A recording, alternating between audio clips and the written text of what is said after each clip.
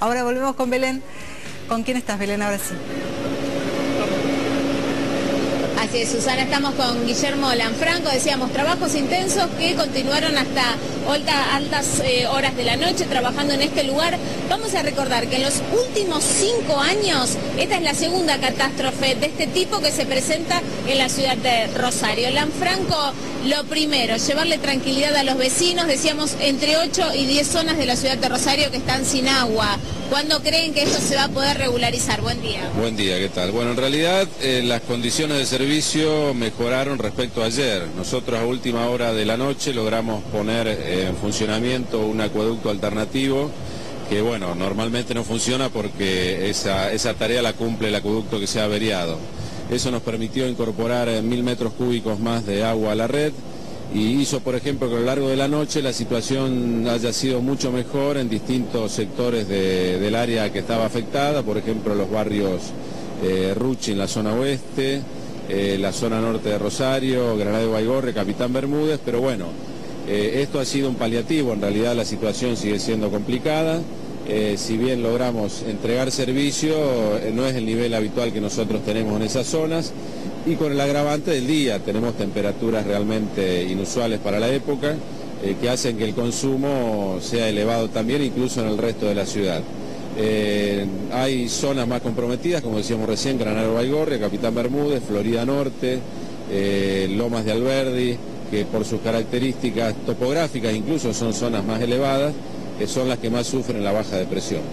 ¿Cuál es la situación de la familia de Juan José Paso 1117, que es exactamente el portón de donde salió ayer el vehículo que terminó adentro del pozo? Em, ¿Pueden seguir habitando esta propiedad al margen de cómo se ve que ha socavado allí el agua? Bueno, la eh, Defensa Civil ayer a la mañana hizo una evaluación y consideró que la vivienda no había sufrido ningún daño estructural. Eh, obviamente eh, es visible el daño que ha sufrido el ingreso, el garage, y el hecho de que nosotros estemos aquí las 24 horas trabajando, obviamente no condiciona un poco la posibilidad de estar instalado ahí. Pero bueno, nosotros le dimos todas las garantías de que una vez que hayamos reparado este acueducto, vamos a restituir la situación anterior de la vivienda y reparar todo el daño producido. La pieza se está construyendo en la ciudad de Buenos Aires. ¿En cuánto estiman que va a estar aquí en Rosario? Eh, este tramo de cañería que, estamos, eh, que hemos encargado a un proveedor nuestro de la ciudad de Ramallo, que trabaja justamente en aceros especiales de, gran tamaño, eh, tiene una longitud de más de 4 metros, se está trabajando en este momento en la confección de esa pieza, es un trabajo delicado por una cuestión de que tiene que tener una circunferencia perfecta, es un acero especial que exige una torsión con máquinas especiales, así que nosotros al mediodía vamos a tener una eh, idea aproximada, sino una certeza respecto a la hora en que va a llegar esta pieza. Nosotros aquí en eh, Juan José Paso al 1100 ya tenemos todo preparado, el área de trabajo despejada, eh, ya el tramo de cañería averiado separado del conducto, como para ni bien llegue la pieza especial, ya ponernos a instalarla con las abrazaderas y en ese momento ver ya desde ese instante, ojalá podamos ya empezar a reponer el servicio. Franco, ayer hablábamos, bueno, de que es una tubería que tiene aproximadamente 50 años de antigüedad. La gente se pregunta, em, ¿hay posibilidades de evitar este tipo de episodios? Eh, nosotros lo que vemos aquí es un episodio puntual que tiene que ver con alguna afectación que sufrió, este tramo de cañería.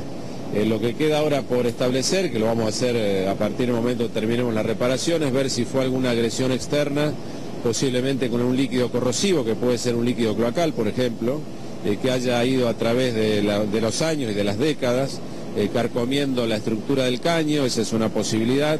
Otra que haya habido algún movimiento de terreno que haya desplazado la cañería, el cuerpo del caño y haya producido otra, otra la rotura. Eh, pero creemos que es un problema puntual, o sea que no afecta a la totalidad de la cañería. De todos modos, a partir de la evaluación que hagamos, en función de eso se tomarán las medidas que correspondan. La última, al menos entonces 48 horas más de paciencia para los vecinos por lo menos el día de hoy y a última hora nosotros vamos a evaluar eh, cómo continuamos con la situación. Gracias, ¿eh? Gracias a ustedes. Bueno, allí la palabra, Susana, entonces, del gerente de Relaciones Institucionales. De a poquito se ve que, bueno, ya van amaneciendo algunos de los vecinos, van llegando trabajadores a este lugar. Es absolutamente diferente el panorama porque ayer, bueno, había un pánico generalizado en esta zona. Vamos a recordarle entonces a los vecinos de la zona que recién estábamos mencionando, al menos habrá que esperar 48 horas hasta que la situación del servicio de agua se esté regularizando entonces en toda la ciudad de Rosario. Bien. Gracias Belén, hasta luego. Es obvio que está cortado el tránsito en calle Juan José Paso al 1100 por el enorme pozo que se ha formado en ese lugar donde el agua se tragó la tierra. Lo presentamos a Fernando.